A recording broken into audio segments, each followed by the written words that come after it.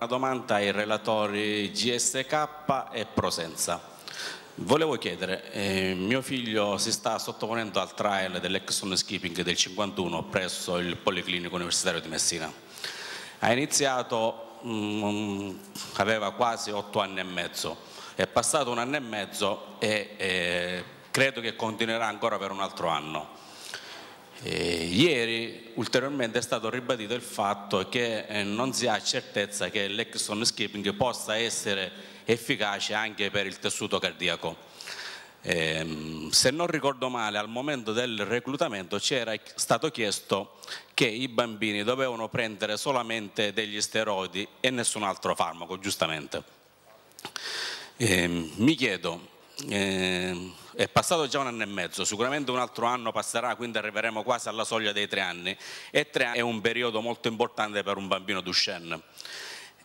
Ulteriormente ieri è stato ribadito l'importanza della prevenzione eh, farmacologica sul cuore, quindi di iniziare una terapia eh, al cuore anche se in effetti non si manifestano grossi problemi. Volevo chiedere, è possibile eh, somministrare una terapia, una terapia, farmacologica per il cuore anche sotto eh, somministrazione del, del, farmaco exon skipping.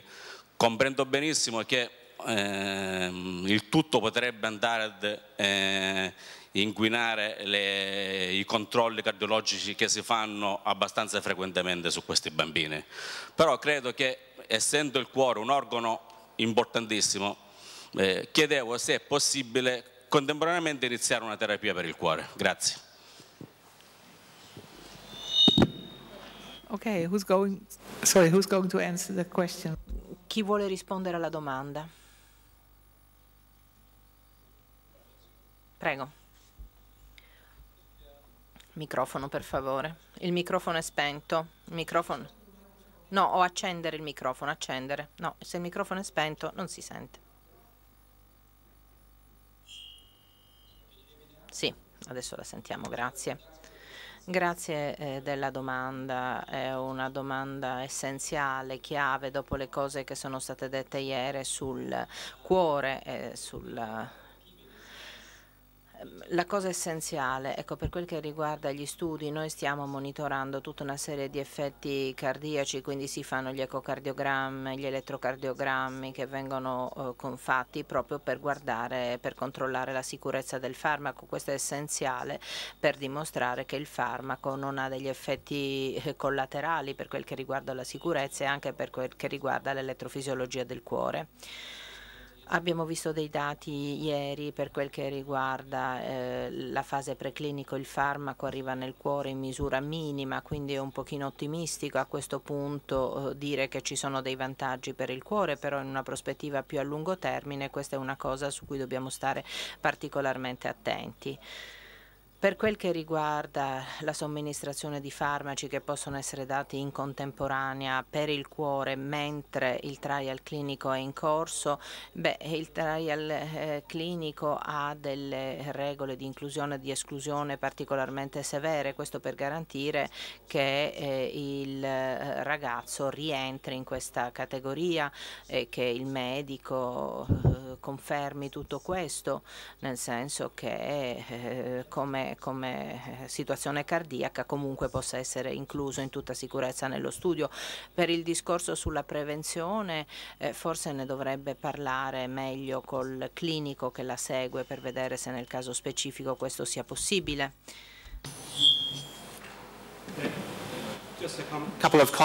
Um...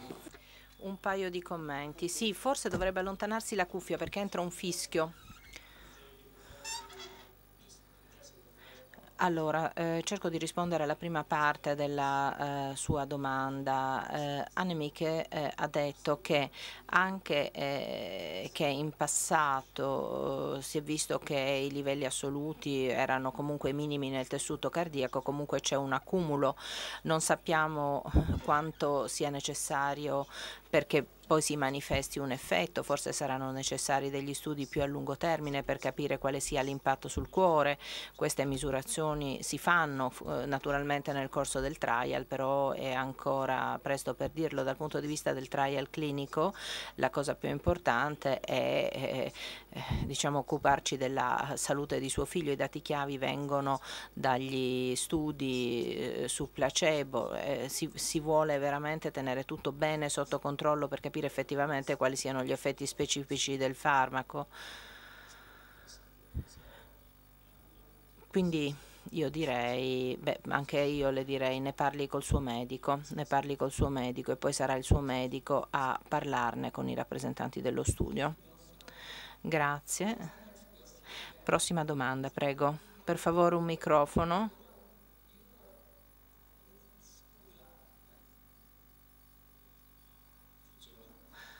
Aggiungere e tranquillizzare che noi in realtà eh, eh, facciamo entrare i bambini nei trial ma poi continuiamo nostra, eh, il nostro modo di curare gli aspetti di prevenzione allo stesso modo per cui non credo che nessuno di noi rifiuterebbe di iniziare un trattamento anche profilattico con gli ACE inibitori come facciamo in tutti gli altri bambini che seguiamo per cui da questo punto di vista state tranquilli perché come dicevano anche loro, oh, il, trial non ci dà indicazioni specifiche sul, sul, cuore, allora tra l'altro la scelta dei farmaci che noi utilizziamo dal punto di vista cardiologico non sono i farmaci che potrebbero anche avere altri effetti sulla funzione più generale, come in questo momento ci sono degli studi su altre molecole, quindi non dovrebbe interferire, quindi se i vostri clinici di riferimento, e li conosciamo bene, siamo, sappiamo quanto sono bravi, pensano che sia il momento di dare la prevenzione o il trattamento cardiologico, sicuramente lo faranno, quindi state tranquilli su quello. Ok, grazie. Grazie. Buongiorno, ehm, io avrei eh, qualche domanda per eh, il mm, dottor Kay eh, di Saretta. Ehm, non ho ben capito durante la sua presentazione se lei parla di eh, percentuale di distrofina oppure di percentuale di fibre positive alla distrofina. Cioè, a un certo punto mi sono perso nelle varie slide tra le, tra le due eh, cose e, e poi ehm, una domanda che non vorrei sembrasse eh, polemica, però non capisco da genitore eh, per quale motivo, eh, pur eh, essendo ad una fase eh, più bassa praticamente rispetto a GSK, avete focalizzato la vostra attenzione sugli stessi esoni rispetto all'altra compagnia. Eh, su un gene così grande sinceramente mi sembra un, una perdita di tempo.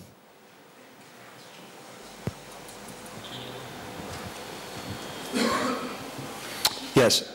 Sì, bene, per, per, solo per chiarire, eh, percentuali di fibre positive alla distrofina quindi 100% normalità, nel nostro studio 47% alle 48 settimane, quindi solo il 47% delle fibre erano positive. La seconda domanda, cioè quello che riguarda la scelta eh, dei vari esoni, ma eh, come lei immaginerà eh, e questo è successo ben prima che io iniziassi a lavorare nella società, eh, il 51 è stato scelto perché era quello più prevalente. Era la delezione più prevalente, quindi era quella che avrebbe riguardato il più alto numero di pazienti, quindi questi studi sono iniziati quasi dieci anni fa e poi in effetti c'erano due società che contemporaneamente stavano lavorando sulle zone 51 se noi l'avessimo saputo eh, che ci sarebbe stata questa concorrenza, forse, forse avremmo fatto una scelta diversa, ma non lo sapevamo. La cosa più importante da ricordare comunque è che quello che noi stiamo cercando di fare e la presenza della GSK stanno lavorando nella stessa direzione, stiamo, stiamo cercando di eh, arrivare a una via veloce dal punto di vista proprio regolatorio, cioè in modo da avere il massimo numero di esoni approvati, quindi vorremmo proprio un'approvazione un di classe cluster di gruppo, quindi dobbiamo avere un numero minimo di studi clinici in modo da far arrivare sul mercato un farmaco il più rapidamente che si può, eh, anche per gli altri pazienti, quelli che hanno bisogno di un exon skipping diverso. Ecco, eh, ecco perché ci stiamo occupando di un'esone che riguarda un alto numero di pazienti, in particolare ora ci sono dei cambiamenti eh, nei, nei regolamenti che potrebbero permetterci un'impostazione un pochino più aggressiva che potrebbe a questo punto riguardare tutti i pazienti e non soltanto un piccolo numero.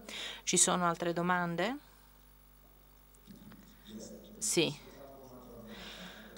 Mm, sapere appunto, eh, forse mi ha preceduto, però eh, vorrei capire se anche voi avete eh, in programma un, per le mutazioni più rare, praticamente mio figlio ha una mutazione unica a tutti gli effetti, quindi vorrei capire un attimino se anche la vostra società ha un programma come la GSK per le mutazioni meno comuni, che non ho visto eh, nella slide che avete presentato. Grazie. Grazie. Eh, Eh, buongiorno, eh, la mia domanda è al professor... Cos'è? This way, yeah. Uh, yeah, okay. Yeah, um, yeah. Uh, yes.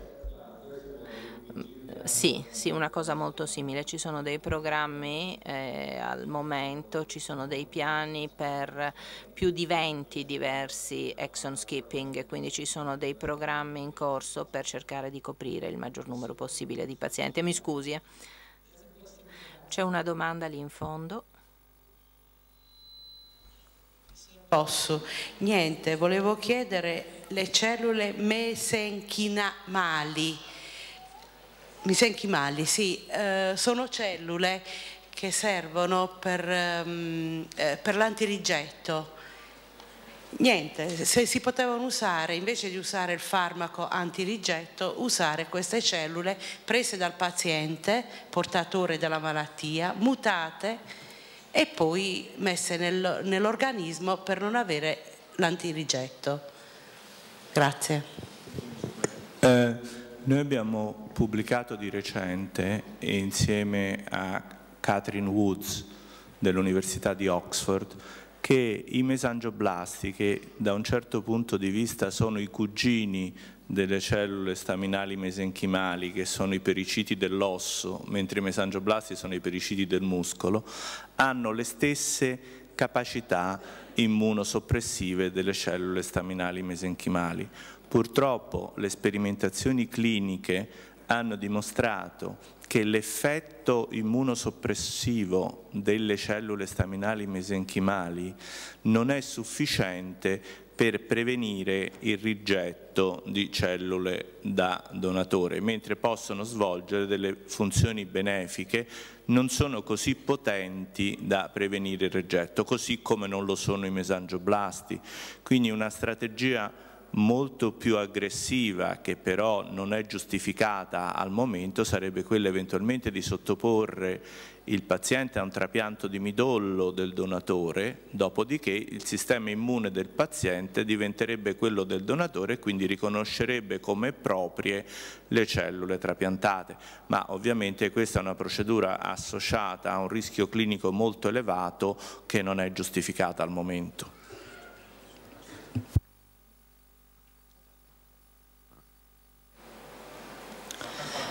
Volevo fare una domanda al, um, ad Allen Rea della PTC Therapeutics eh, su Ataluren. Volevo sapere se mh, ha, parlato della fase 3 e ha detto i criteri di inclusione ma non ha parlato di dove verrà svolta questa ricerca, questa trial, in quali centri clinici, volevo sapere particolarmente in Italia se ce n'era qualcuno e in che tempi, in quali tempi partirà. Okay. So Grazie della domanda. Per la sede degli studi al momento eh, stiamo lavorando con una serie di paesi eh, per vedere quali saranno i siti prescelti, ma nel pianificare questo studio, nel farlo andare avanti il più rapidamente possibile, direi gli stessi, pazienti, eh, gli stessi paesi che hanno partecipato alla fase 2B, compresa l'Italia e tantissimi altri paesi in Europa e poi Canada, Stati Uniti, Israele, Australia, tutti questi parteciperanno. Adesso dobbiamo trovare anche un certo numero di pazienti, 220 pazienti, adesso stiamo considerando anche paesi nuovi per poter avere il numero sufficiente di pazienti per, ai fini della potenza statistica del trial.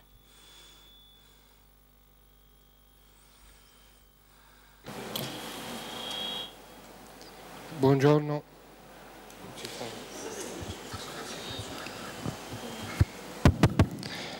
Buongiorno, senta, volevo sapere, mio figlio ha una delezione degli esoni 46-50, se la strategia dell'exoscripting può essere valida per correggere questa delezione.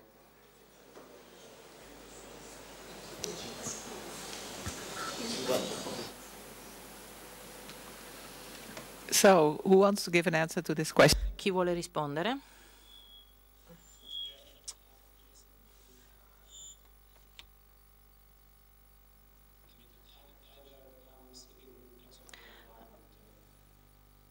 Eh, qui c'è l'esperto. Bisogna fare lo skipping del 45 e del 51. Questa è una cosa però che è stata pubblicata tanto, tanto tempo fa.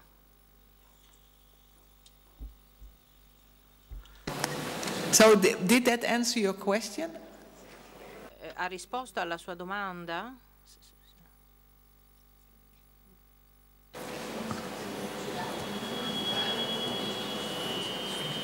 Volevo sapere se c'erano anche delle sperimentazioni in corso per questo tipo di delezione. So, uh, I think the Il problema che abbiamo è che tutti stiamo cercando di capire eh, il dosaggio, quindi nel suo caso specifico al momento dovrebbero essere presi due eh, farmaci per fare lo skipping di ambedue gli esoni. Questo certo è possibile, però certo è più rischioso, quindi al momento nessuno lo sta facendo, forse in futuro qualcuno lo farà, eh, però non sarà una, uno dei primi gruppi di esoni per cui si farà lo skipping, però man mano che capiremo di più, man mano che raccoglieremo più informazioni, questa possibilità esiste, cioè di lavorare su due in parallelo. Eh, C'è qualcun altro che voleva fare una domanda? Vedo una mano lì. Eh, io volevo chiedere al dottor Batta, che ho sentito eh, GSK, per quanto riguarda ecco, un po' se era possibile avere in questa sede, mi attendevo una maggiore generosità di informazioni rispetto ai dati dello studio che chiaramente già in una fase abbastanza avviata, come diceva lui. Mio figlio partecipa, uno dei miei due figli partecipa allo studio sulle zone 51 e diciamo, da, di, da, quasi un anno e mezzo è trattato. E, in questa sede era possibile, così come ha fatto per Letter Plissen il dottor Kay, dare qualche informazione almeno sulle, sulla quantità di distrofina che hanno rilevato dalle biopsie eh, fatte durante lo studio. Questa era la prima domanda. La seconda, sempre mi chiedevo, ehm, per quanto riguarda il GS, GSK, ehm, siccome ehm, mio figlio ha un fratello, cioè l'altro mio figlio che ha 17 anni e che non, non, non è deambulante, ovviamente ha lo stesso tipo di delezione. A quanto ho capito i dati dello studio verranno resi noti verso settembre. Volevo capire una tempistica perché, per spiegare soprattutto al, al fratello più grande quando eh, potrebbe essere trattato con un farmaco che pare effettivamente dare dei risultati, ecco, considerato che il fratello viene trattato e lui no, anche un po' dal punto di vista eh, tra virgolette etico, se eh, è pensabile che vi sia un percorso eh, più o meno celere per arrivare, visto che, eh, ripeto, potremmo arrivare al paradosso per cui c'è un farmaco che funziona, a un, frate- a un figlio nel mio caso viene dato e a un, altro no. Eh, non so in questo senso se vi siete tra virgolette posti il problema oppure se c'è già una tempistica per tutti eh, insomma, per andare in produzione del farmaco che risolverebbe sicuramente il problema, insomma una tempistica celere non, non ci fa nemmeno porre il problema. Grazie.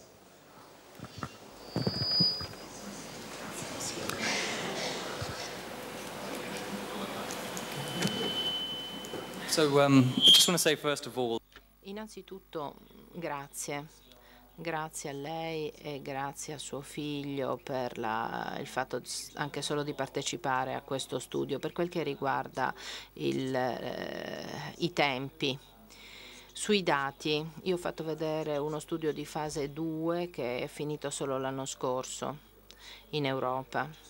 Quindi stiamo solo preparando i risultati al momento quindi questi risultati saranno pubblicati e saranno poi presentati al prossimo congresso, quindi questi risultati saranno resi noti e a quel punto ci saranno i dati clinici e anche la possibilità di includere dei dati appunto sulla distrofina. Per quel che riguarda eh, spero che questo risponda alla prima parte della sua domanda. Per quanto riguarda il suo secondo figlio, eh, no, figlio, figlio, figlio, figlio, suo figlio, suo figlio maggiore che non è deambulante. Eh, per la popolazione non deambulante, beh, questo fa parte del nostro progetto di sviluppo clinico. Abbiamo fatto uno studio, anche quello è stato, alla, è stato completato alla fine dell'anno scorso e riguarda il dosaggio. Dobbiamo capire qual è il dosaggio massimo che possiamo utilizzare. Adesso stiamo pensando a, al disegno di uno studio clinico, però dobbiamo prima imparare tanto, il più possibile dagli studi sui ragazzi deambulanti, perché lì abbiamo già un buon livello di massa muscolare e così possiamo capire meglio che cosa succede a livello clinico per la distrofina e poi quello che abbiamo imparato lì lo possiamo applicare alla popolazione non deambulante. Dobbiamo prima eh, ottimizzare quello studio e, e non sovraccaricare gli altri ragazzi eh, a livello di dose, quindi eh, prima dobbiamo aspettare i risultati e, e, apprendere qualcosa dai risultati che abbiamo sulla popolazione deambulante ancora. Non so se ho risposto alla sua domanda o c'è qualcosa che non ho capito se non deambulanti visto i muscoli già compromessi e anche il muscolo cardiaco che incomincia ad avere in questo periodo eh, qualche problemuccio, eh, quali sono gli effetti positivi che voi vi aspettate dalla tecnica dell'esoskipping? Avrei una seconda domanda che riguarda invece gli eventuali nuovi progetti trial sugli altri esoni, eh, se questi possono essere, mm, si possa pensare che abbiano dei tempi eh, più ridotti rispetto al lungo periodo dei trial, mm, giustificato chiaramente, eh, proprio sfruttando magari eh, i trial in, in, eh, che hanno già raggiunto una certa validità e sfruttare i risultati da, da questi ottenuti per accorciare i tempi dei nuovi eventuali studi su altri esoni. Grazie.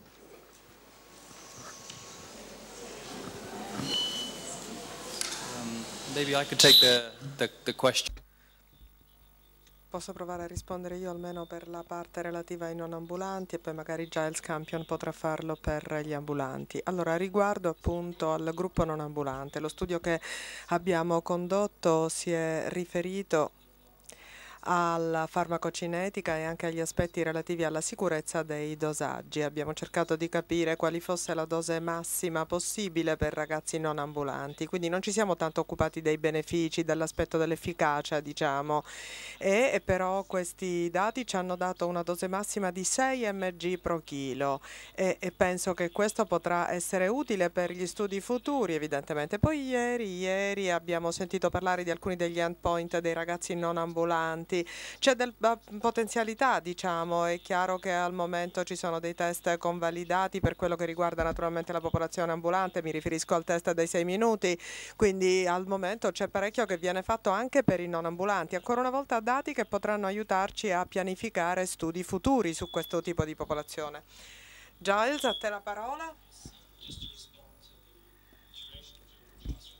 Per quello che riguarda la durata, Ecco, eh, ho cercato di dire nella mia relazione che di fatto noi stiamo andando proprio in questa direzione, cioè stiamo utilizzando il massimo dell'informazione che possiamo avere per poter raggiungere mh, programmi di sviluppo un po' più efficienti, diciamo, e, e naturalmente per far questo abbiamo bisogno dell'approvazione da parte delle autorità perché possiamo preparare tutta una serie di composti, ma eh, questo è un fatto assolutamente innovativo, quindi su questo abbiamo bisogno di dialogare con le eh, autorità che naturalmente devono essere fornite di tutte le informazioni che noi siamo in grado di eh, fornire loro. Bene, grazie. Allora tempo soltanto per un'altra domanda.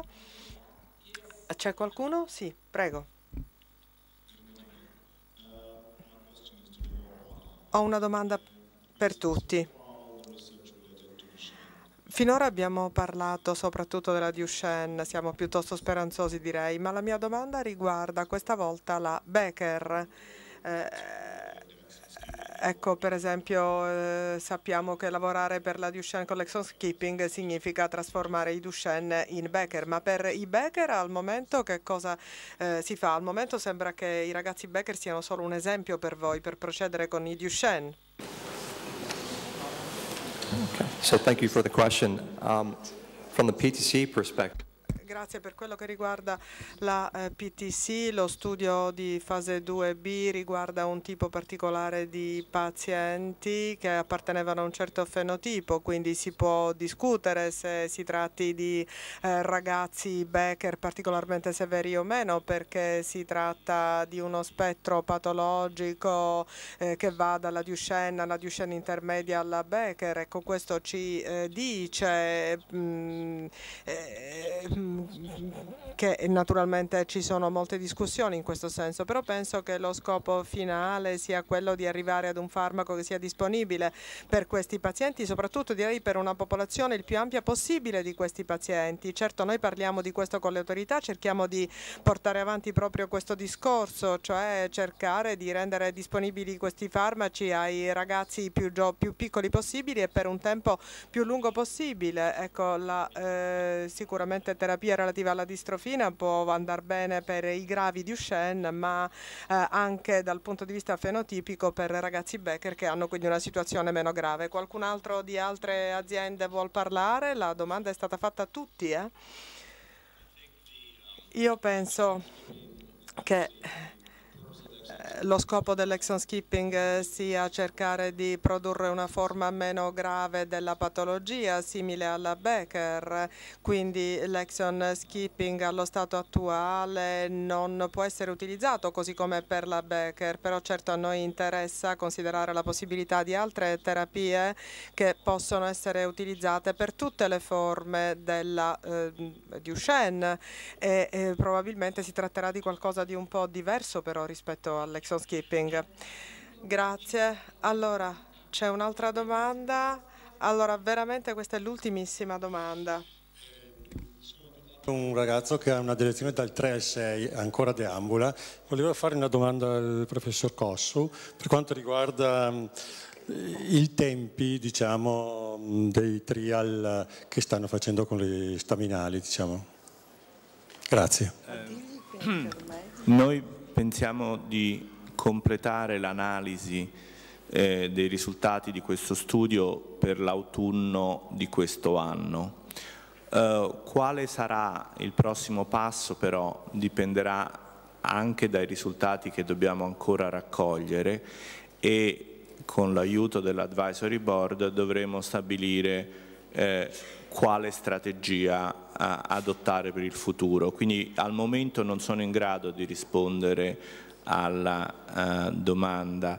Uh, ci sono tante possibilità ma è forse prematuro parlarne adesso perché poi potrebbe verificarsi il caso che una valutazione più accurata uh, le renda non fattibili, quindi è inutile stare qui a di, noi abbiamo delle idee su come muoverci, ma eh, queste idee saranno dire, più solide eh, quando ci saremo confrontati con l'advisory board e quando avremo tutti i dati. Nel, sicuramente nel prossimo anno non inizieremo alcun nuovo studio, questo è chiaro. Gra grazie a tutti, uh, thank you very much.